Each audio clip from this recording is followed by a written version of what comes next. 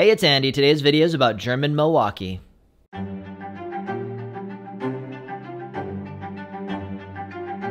Something that's so fascinating about the mass migration to America in the 1800s is how settlements were often made to be a recreation of the immigrants' home country. I think Milwaukee is our best example of a place that was just as much a colony of Europe as it was an American city. Now, the immigrants who had the biggest influence on Milwaukee were the Germans, and in this video, we're going to see some of the best visible remnants of the German influence on Milwaukee.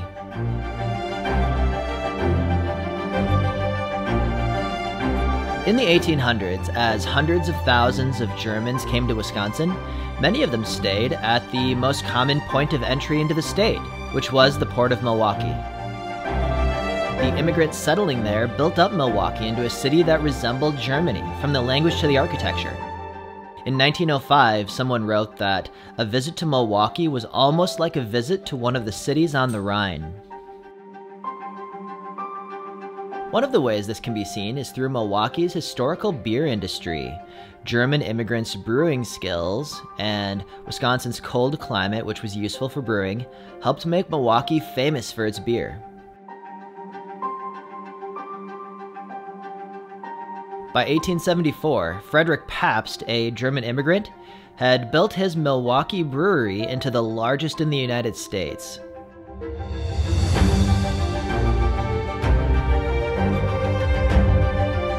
Much of its historic core has been preserved, with a bold, German inspired castle motif.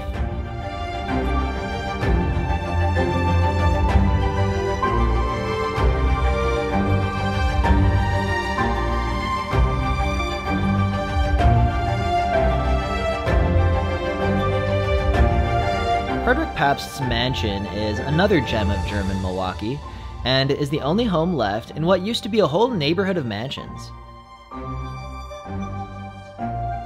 The style of the Pabst mansion is Flemish Renaissance Revival, which is a type of Romanesque architecture, which had actually gained ground in Germany in the 19th century as a kind of new German national architectural style.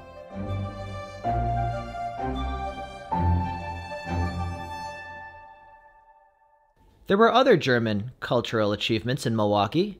German language theater was performed at the Pabst Theater, a building which was designed in the style of German opera houses. And the Germania building, just across the bridge, was the largest German language printer in America.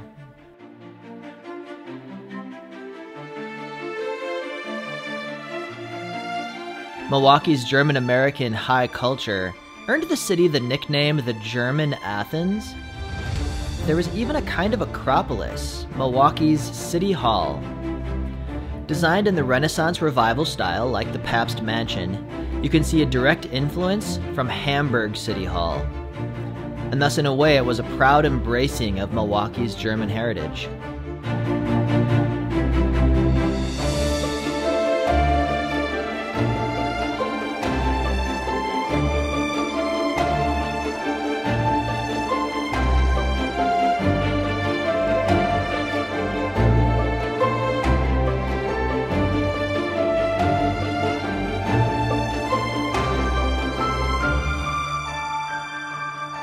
It was dedicated in 1895, and for almost five years it stood as the tallest habitable building on the planet.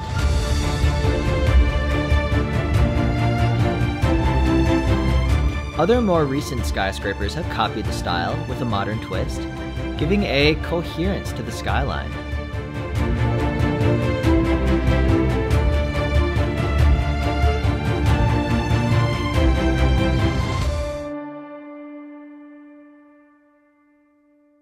There are also a number of beautiful churches built by the early German communities, which, like most old churches, offer a glimpse of historical European culture and architecture.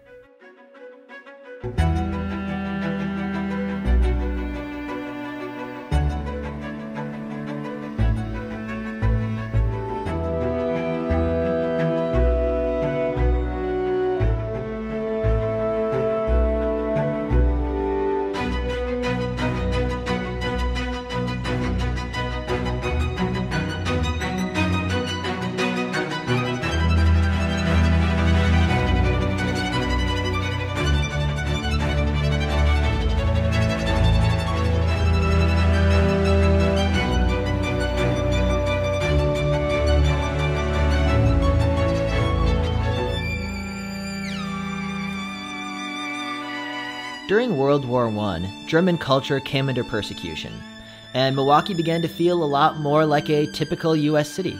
However, as this video at least began to show, the huge historic German presence in Milwaukee is still visible. Thanks for watching the video and hit that like button if you enjoyed it.